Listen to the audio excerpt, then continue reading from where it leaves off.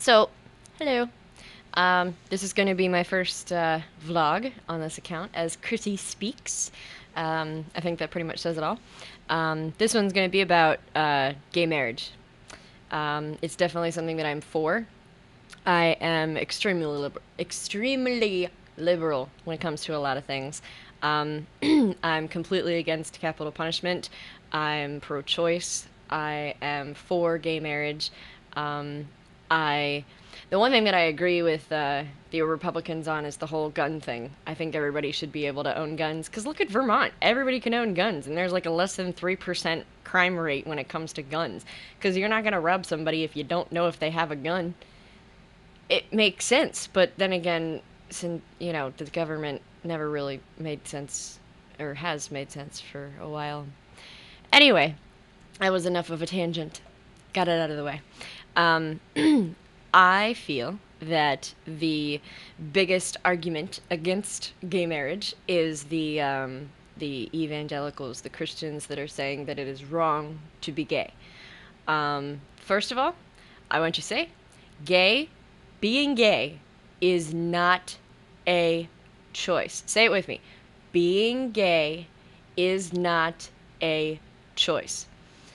Being gay is genetic it's in you. My first crush, first time I had a crush on a girl, I was five, maybe four, five. I didn't know it was a crush because obviously I wasn't like sexually uh, educated or didn't have that little thing we call a libido yet. Um, but the first time that I had a girlfriend, I was 11. 11. I knew inside me that I was attracted to girls. I knew it. Now, the first thing that people say is, you know, especially when somebody comes out and they say, you know, oh, hey, by the way, I'm gay. Um, say it's a guy that says that. You know, people opposed to homosexuality would be like, well, how do you know? And the guy goes, well, I just, I know. And they're like, well, you've never been with a guy, so you can't be gay. You, you how do you know? My argument to that how do you know you're straight? I want the answer. I want you guys to answer me. How do you know you are straight? Now, think about the question that people ask gay people How do you know you're gay? Same exact question. Same question. Can you come up with an answer? You know you're attracted to the same sex, both sexes, or the opposite sex. You just know.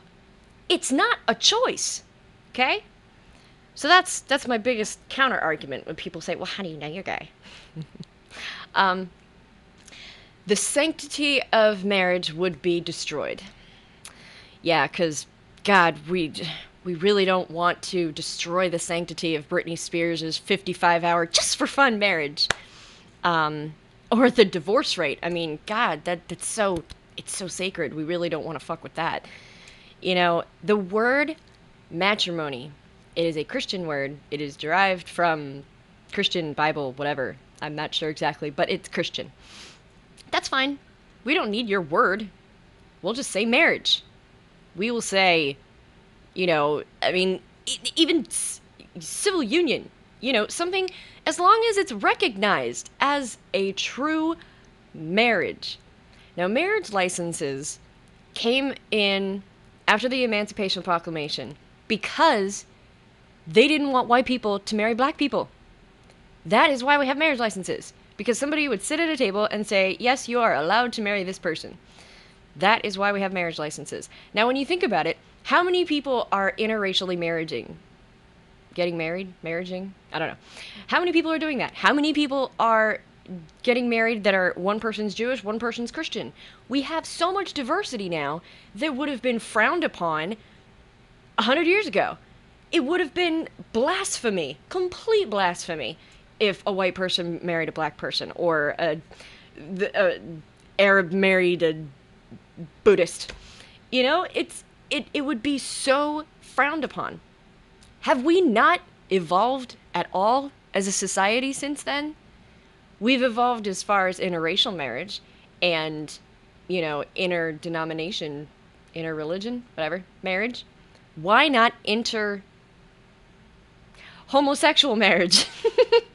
Come on, people.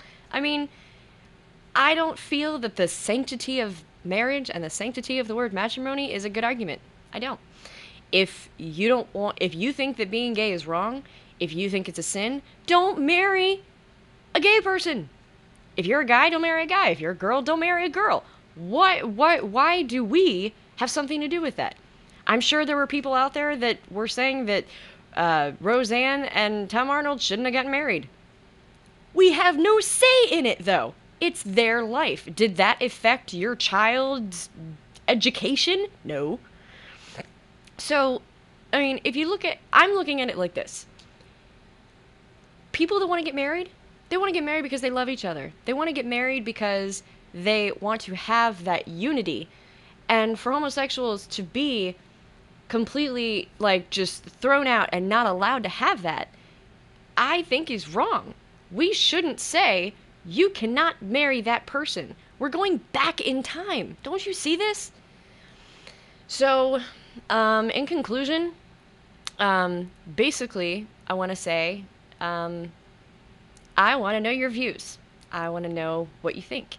Um, and hopefully, uh, you guys may have possibly seen like a different side. I like to do that in my videos, as you probably know from my other account. Um, and thank you to everybody that's been coming over to this account. Hopefully, I get more of you guys and more friends and stuff because I love hearing you guys' opinions and comments and stuff. So, um, until next time.